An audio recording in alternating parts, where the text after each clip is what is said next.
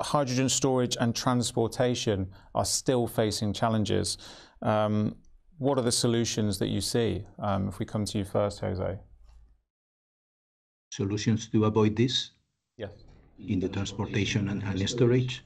Well, essentially, I guess that Joel was providing one very good, that is, uh, transforming the hydrogen and avoiding. I mean, there are different solutions. So I know that some companies are developing solution based in converting the molecule of hydrogen in something that can be transported, not only in ammonia, but can be transported using the regular fleet of, uh, let's say, oil industry and so on, and then can be, um, can be uh, let's say, transported from the point of view of safety and so on. It's not so complicated as maybe with the liquid hydrogen and so on. And then the this can be decomposed later in hydrogen, but then you need to have a supply chain that is specifically related to this, and then you are recovering uh, an organic product that you need to use and so on. So there are solutions to transport the hydrogen. So essentially, you can use uh, three simple ammonia or liquid hydrogen or then uh, organic base like conversion or the hydrogen in this and then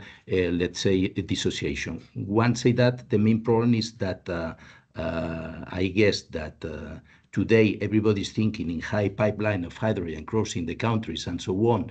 And like uh, you can replace immediately everything, and then the natural gas can be replaced by hydrogen without taking in consideration a small thing like uh, a burner, small burners, heater, a safety valve, etc., cetera, et cetera. You need to take consideration about this. And it's not like this that you are able to say, "Okay, I can produce hydrogen, very low price, whatever. I I put all the pipeline and so on, and I'm supplying for everybody, even for heating, uh, let's say district or whatever." So it's it's not as simple as this. It's much more complicated. So personally, I guess that there is a lot of things around this. Some companies, some trading companies, and even some oil and gas companies that are uh, outside of Europe, they are trying to bring to, uh, to, uh, to Europe, not green ammonia, but in some cases it's uh, or low carbon or even gray ammonia to try to decarbonize, and then they are trying to deal with different ports and so on to having there a storage and then doing the dissociation. Following a little bit the trend that is uh, apparently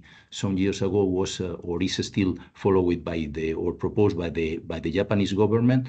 But uh, once that, I think that this is the solution. I mean, I'm not an expert in hydrogen transport, but I will say that essentially, and probably Joel or Sebastian, they can correct me and provide more information. These are the the things that you can do. So transporting in gas phase, I don't think so. Make no sense. Uh, I mean, big volumes, and the other is really uh, converting this in something that can be transported in a not very costly and uh, safe way. That's all.